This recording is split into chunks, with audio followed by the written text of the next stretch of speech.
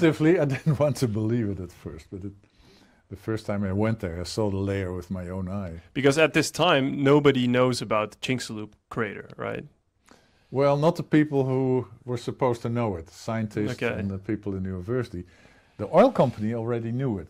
Yeah, this is Pemex, right? Petroleum. Mexico. Uh, they, they knew it in 75 already.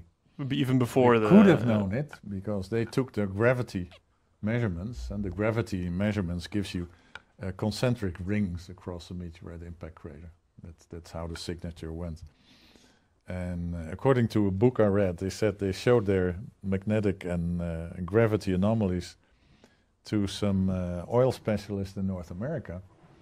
And they said, "Wow, An oil got, field. this is- and, uh, you got an oil field, potential oil field."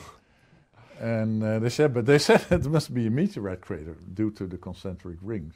Oh, so they already re- recognized it as a They meteorite. reckon that the Americans did. At least that's according to the story. I haven't Mhm. had any supporting story of that. I believe it.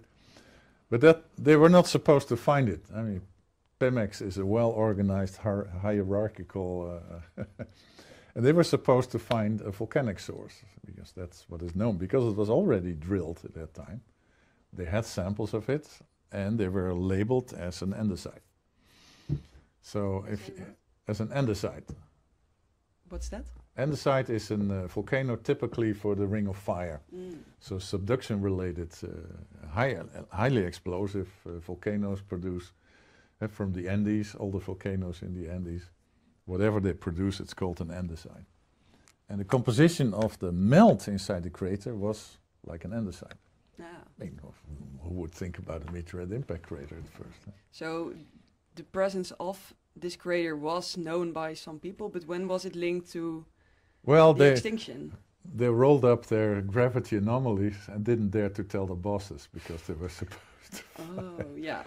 But then in the in the early 1980s, uh, serendipitously at the same time, there was a consultant, Glenn Penfield, who was doing because they're still trying to find oil in that structure, and he did other geophysical uh, work, namely the deviations of the Earth magnetic field.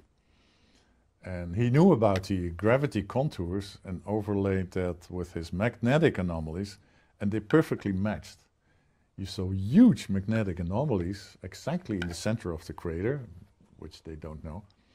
So then they realized, okay, we have a crater there.